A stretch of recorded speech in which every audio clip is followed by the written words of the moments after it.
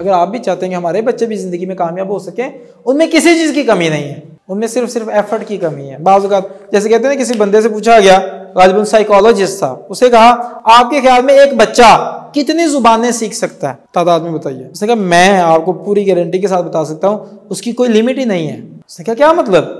कि भाई सिंपल सी बात है, आप जितने ज़्यादा उसे सिखाते जाएँगे, वो सीखता चला जाएगा। उसमें कोई लिमिट नहीं है। लिमिट आप में है। आप उसे सिखाएँगे कि नहीं सिखाएँगे? अच्छा उसे बच्चे को एबिलिटीज नहीं चाहिए, वो है उसके बाद। उसे अच्छा टीचर चाहिए, जो उसे सिखा सके। अगर अच्छे टीचर हैं, वो लाजिमन सीखेगा और अनलिमिटेड लेवल तक जाएगा।